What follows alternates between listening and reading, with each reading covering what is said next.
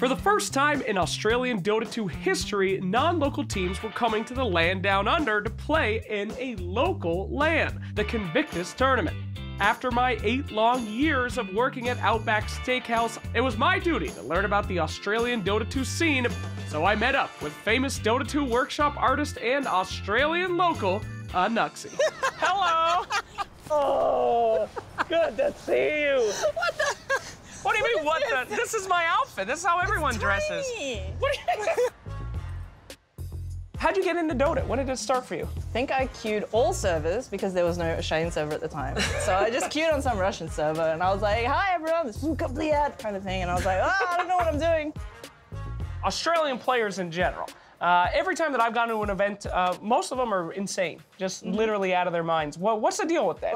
Everyone, Yep, everyone's pretty crazy here. even like uh, the LAN cafes here are uh, a little strange too, right? I mean, this one even has Got like. a gym upstairs, Nice. boxing gym. Wow, you are not kidding around. There's actually a gym in a LAN cafe. It's a Yeah. little counterintuitive there, my friend, but. Jesus Christ! How are ya? Welcome to Level Infinity Performance Training Center. We're right. Andy, why, why is there a gym in a LAN cafe? Yeah, because uh, we have teams boot camping here and we like to provide a facility where they can not just train their skill sets, but also their body as well. Okay, great. Yeah. So, exercise and video games. I missed one of those. How's that feel? That feels Good. so good, boss.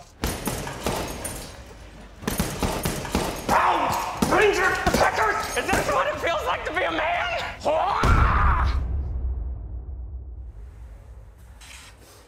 What's going on, bro? It's all good. I want to address the crowd and say a word that, like, Bloody oath. what? Do you like coffee? It's like bloody oath I do. Bloody oath I do.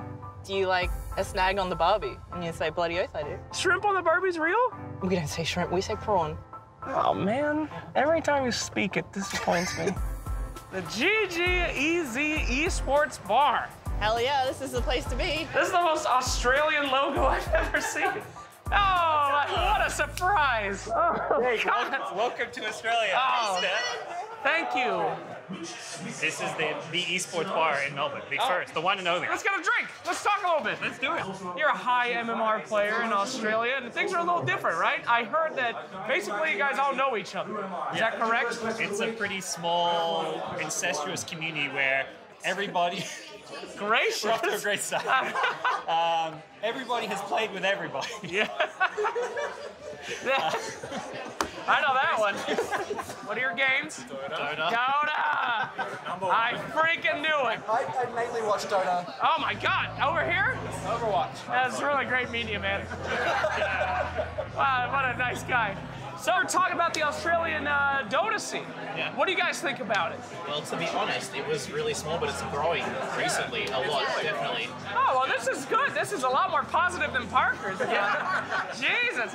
Have you ever played against Godz before? I have not. I, my is like three. Wow. Have you played against Anuxi then?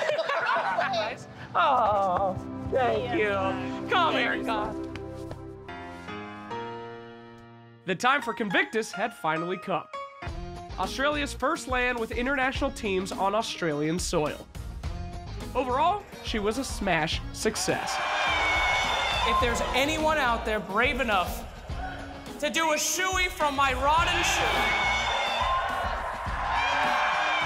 Smells alright. That's not good, Pete.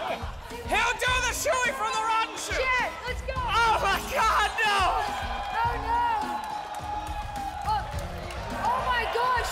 After the pro Dota and learning about the Australian Dota 2 scene, I felt like I had finally, truly become an Australian.